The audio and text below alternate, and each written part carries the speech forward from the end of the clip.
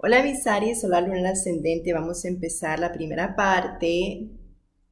Pues si ya vieron su otro signo, solar luna ascendente, ya se dan cuenta de lo que hablo al principio.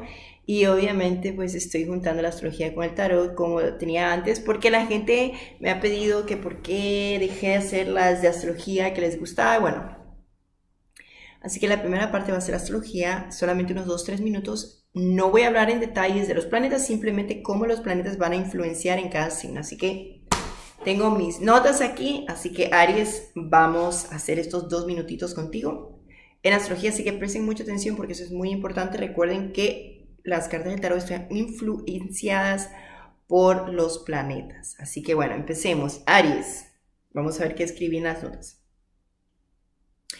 Bueno, ustedes van a sentir presión en su área laboral y claro, esto puede mejorar sus negocios, pero hay que ponerle disciplina sobre todo lo que ustedes hacen o quieren hacer. Es muy importante.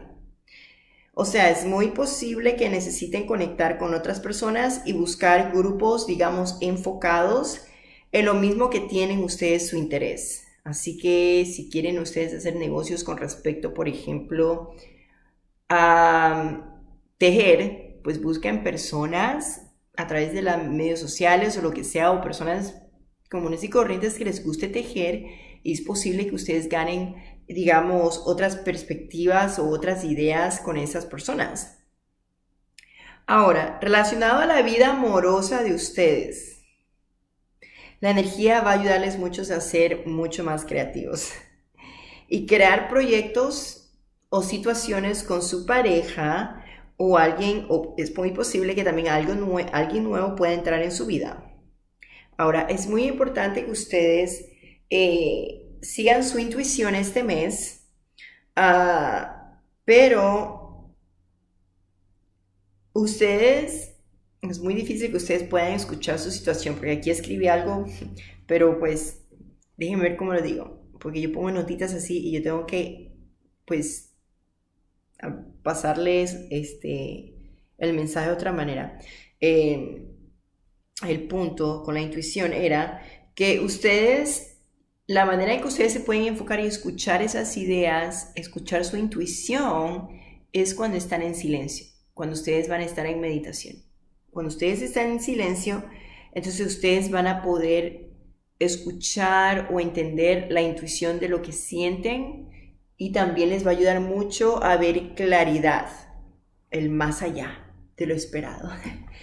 Porque ustedes van a estar muy ocupados sobre todo con esa presión que van a sentir en lo, laboral y pues tratando de relacionarse y, pues en la parte amorosa pues obviamente pues muy creativos están con su pareja y si conocen obviamente a alguien nuevo es muy posible que también pues están un poco creativos en esa área pero busquen, digamos, la quietud.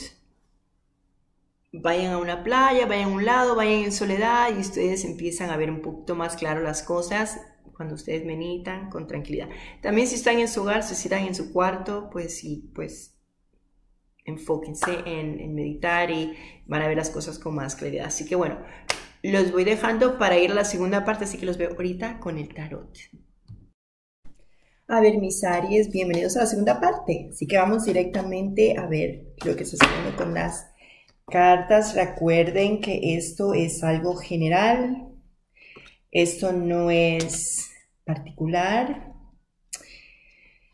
Y ustedes son los que interpretan de acuerdo a sus situaciones. ¿Verdad? Empezamos, Aries. Energía general el soñador. ¡Wow! Lo que me gusta de esta energía es que ustedes van a sentirse con esas ganas y garras de dar ese paso, tirarse al vacío decir, bueno, ¿sabes qué? Hay que arriesgarse. También es muy posible que también en la energía hayan ciertas situaciones y oportunidades de, de riesgo, pero en una buena manera, es en algo positivo porque pues el que no arriesga no gana, ¿verdad? Pero también tiene mucho que ver con oportunidades inesperadas que se puedan presentar.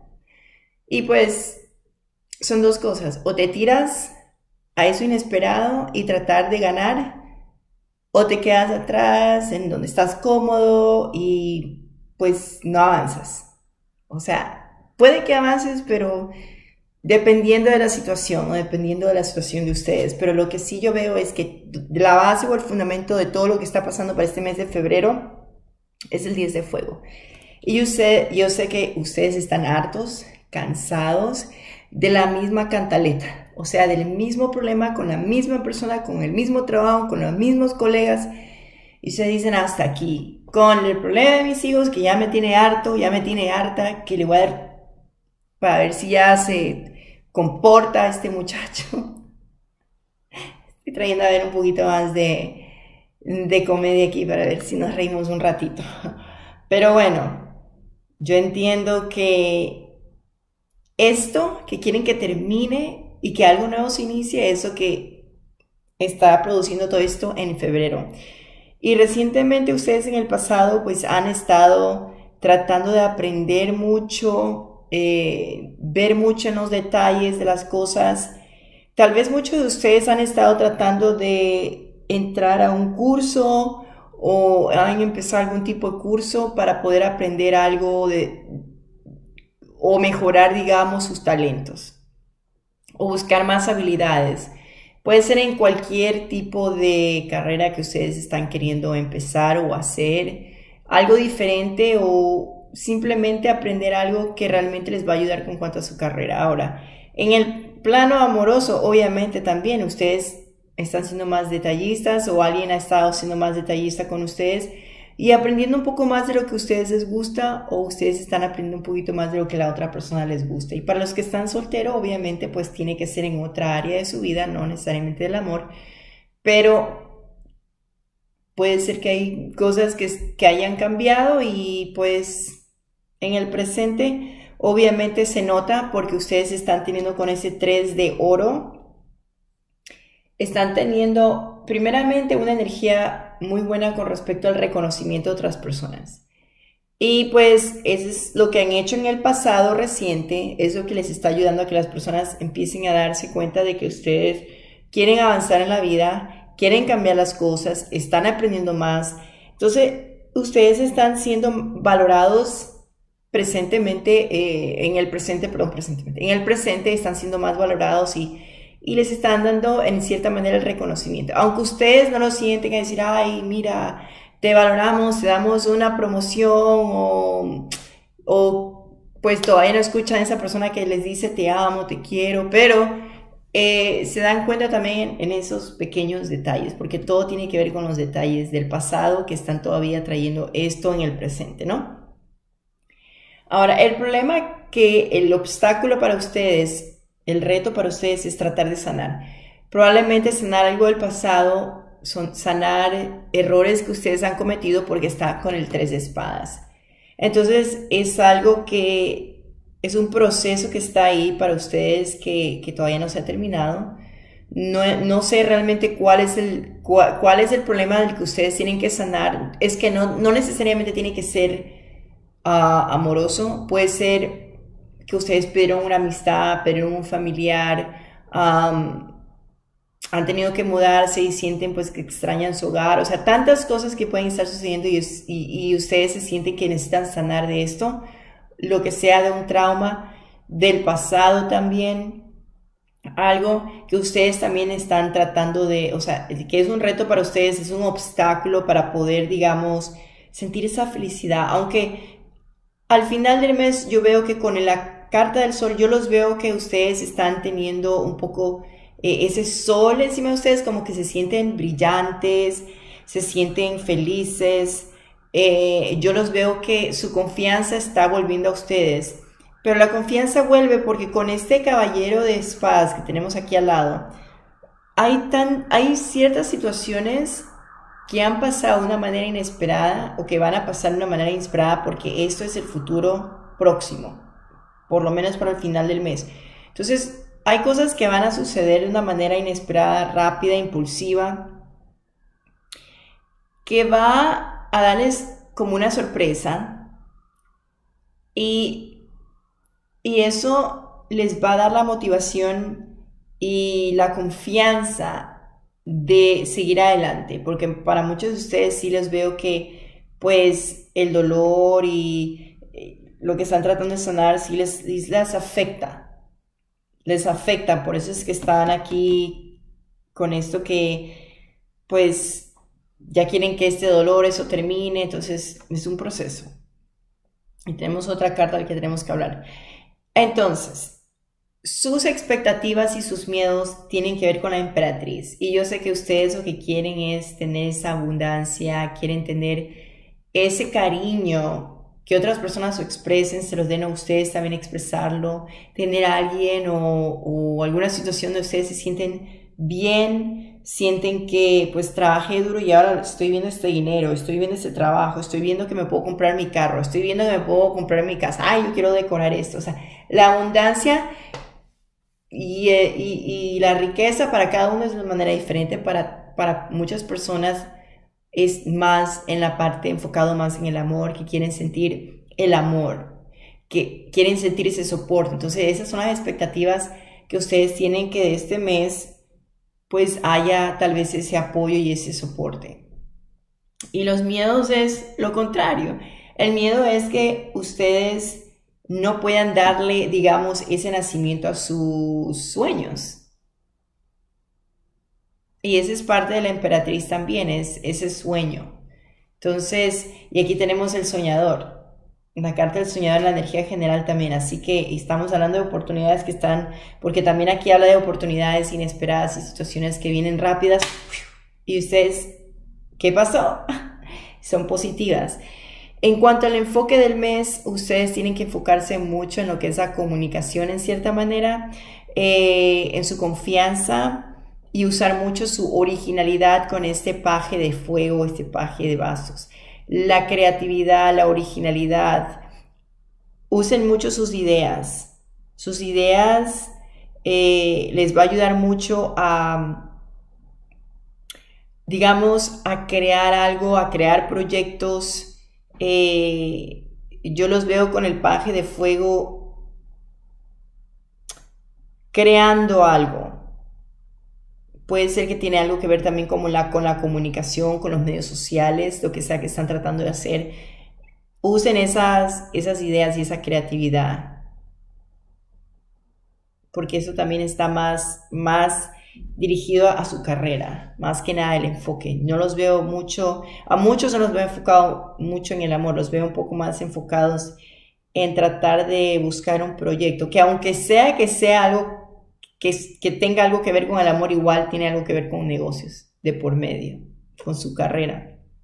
Ahora, hablamos de, lo, de la energía que está alrededor de ustedes, de que ustedes están inconscientes y no se dan cuenta, es el 9 de espadas.